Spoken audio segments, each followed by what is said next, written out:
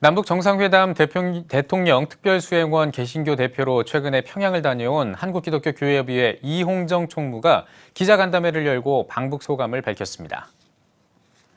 이 총무는 조선 그리스도교 연맹과의 만남은 성사되지 못했지만 부문별 대화 시간에 한국기독교교회협의회의 88 선언에 나타난 민중 참여의 원칙을 소개했다며 평화 프로세스를 이루기 위한 민간 교류의 상시화를 제도화하자고 제안했다고 밝혔습니다.